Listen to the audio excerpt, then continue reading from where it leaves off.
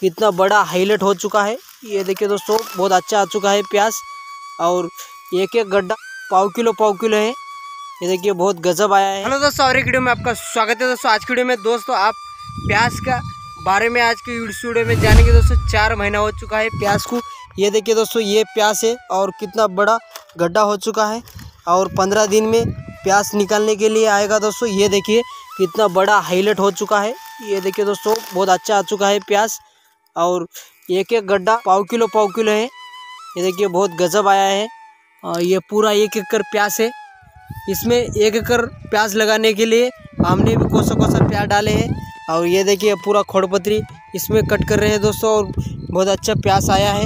ये देखिए, दस रुपये किलो गए तो भी पचास पचास क्विंटल होता है दोस्तों, आराम से। ये देखिए, और ये पूरा हरा सो देख रहे हैं सो पूरा ये प्याज है। ये देख सकते हैं। और कम खर्चे में इसको रोग भी ज़्यादा नहीं आता है और बहुत अच्छा प्याज आप खेती कर सकते हैं। ये देखिए, बहुत गजब आया है दोस्तों। ये हमने नवंबर में लगाए पंद्रह तारीख को। ये देखिए दोस्तों, कितना कैसा हो चुका है और पंद्रह दिन में आएगा। ये देखिए प्याज और बहुत एक एक प्याज पाव किलो पाव किलो का प्याज है।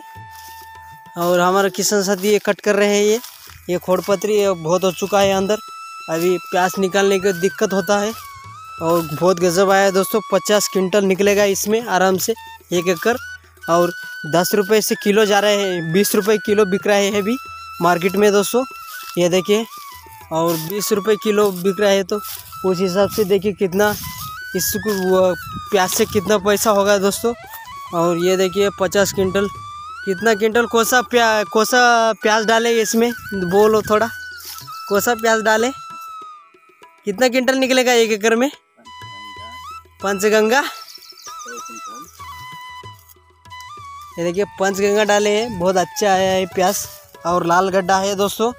और दो तीन बार वीडियो बना दिए इसके, कैसा कैसा उगाना है, कैसा क्या करना है दोस्तों। हमने ये क्या मड़ी नहीं करे, कुछ नहीं करे। इसको खाद से छिनका है दोस्तों, पूरा ये खेत। ये देखिए, और बहुत अच्छा है प्याज और बीस रुपये किलो बिक रहा है अभी मार्केट में दोस्तों। और पंद्रह दिन को आएगा, हमारे को रेट मिलेगा कि नहीं।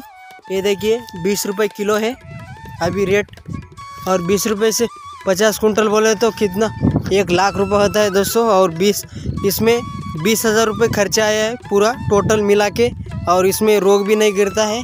हाँ कुछ भी नहीं गिरता है दोस्तों, इसमें दो बार यूरिया डाले हैं और डीएपी यूरिया और बाद में इसको कुछ भी नहीं डाले हैं। इसमें रोग नहीं आता है दोस्तों प्याज में और खेती कर सकते हैं प्याज की, बहुत अच्छी और इनकम कर सकते हैं।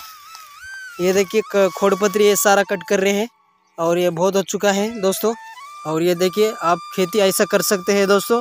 और आज आज की वीडियो में इधर एंड करता हूँ दोस्तों। और आई होप आपको आज की जानकारी अच्छी लगे तो ज़रूर शेयर करते हैं और तो चैनल को सब्सक्राइब कर लेना दोस्तों। और आज की वीडियो में इधर एंड करता हूँ और नेक्स्ट वीडियो में मिलें। तब तक जय हिंद, वंदे मातरम, जय किसान।